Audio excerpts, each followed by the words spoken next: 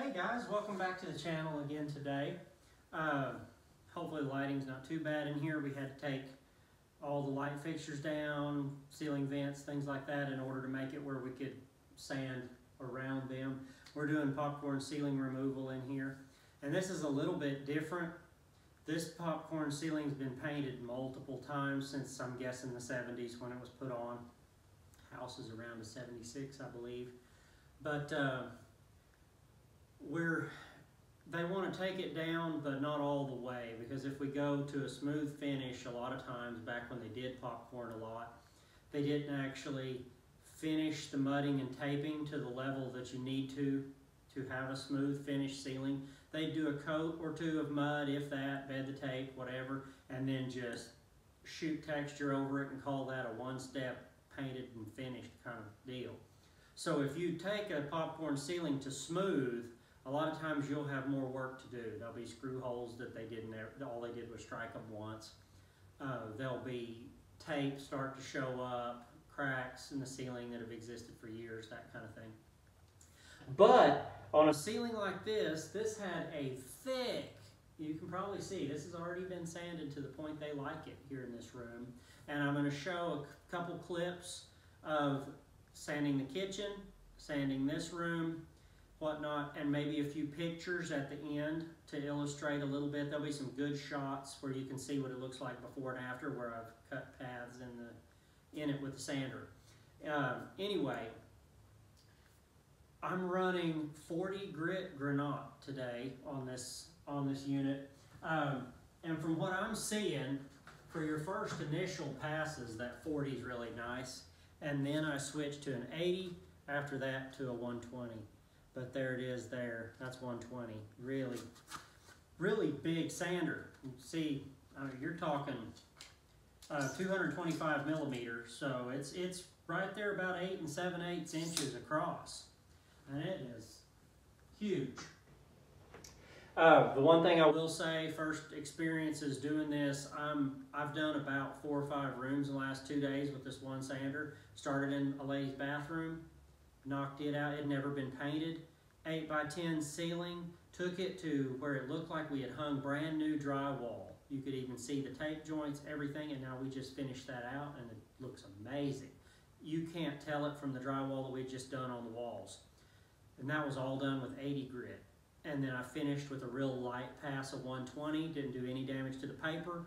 It's all gone, looks factory. Uh, took 30 minutes to do. So that's amazing to me. This house is a full popcorn removal on a 1,600 square foot home. So it's going to take a minute. It, so far, other than the edging work that has to be done, a room this size, which is around a 12 by 20, is taking me roughly an hour to remove the entire popcorn ceiling. Down, this is not going smooth. This is going to where the finish after you put flat paint on it is going to look like knockdown texture, like they do on the new homes now on the walls and everything. That's what this will look like painted. I think it's going to look amazing compared to all the shadows and dirt and everything you're getting from the popcorn ceiling.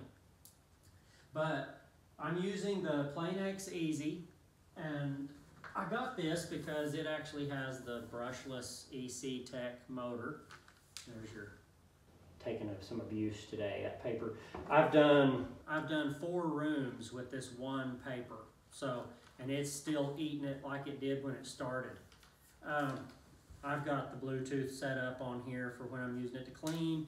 This this unit has a speed one through six right here, so you can speed up the sander. You can't adjust the vac or anything from the unit like you can with the larger Planex, the original version but I thought having the brushless motor probably superseded that, as well as I don't really do ceilings over, this will this will do a 10 foot ceiling, but I don't really do anything over that.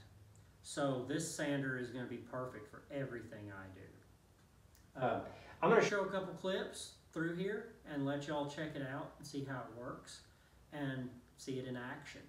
But I'm running it on the Festool Auto Clean CT36 so far. Hasn't stopped a bag up. Haven't even really checked it because there's almost nothing coming off the sander head.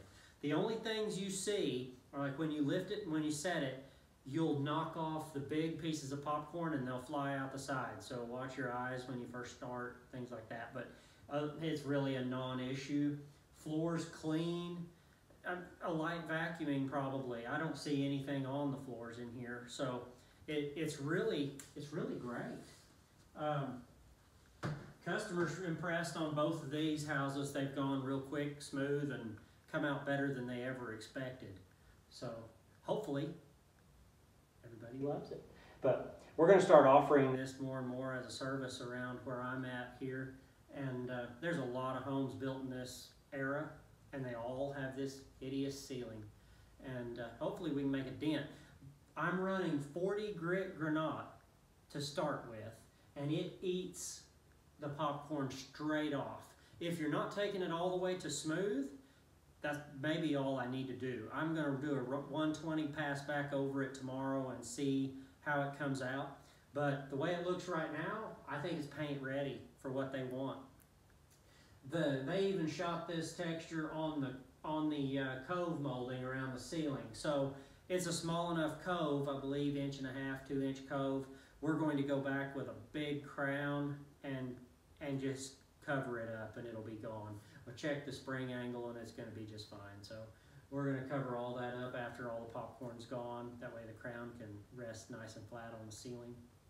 But uh, anyway, that is this unit.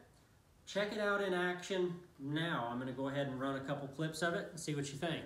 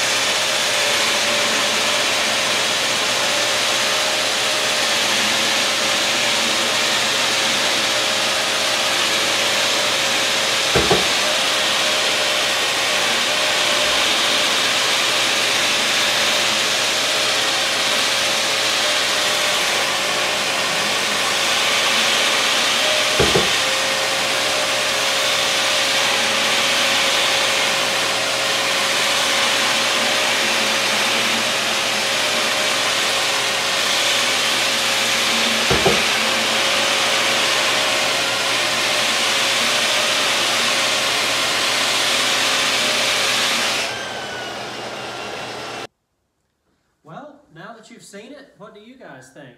Um, I'm, I'm fairly impressed. I think it's going to work perfectly for everything we want to do with it. Uh, the one thing I am going to have to do is get the harness.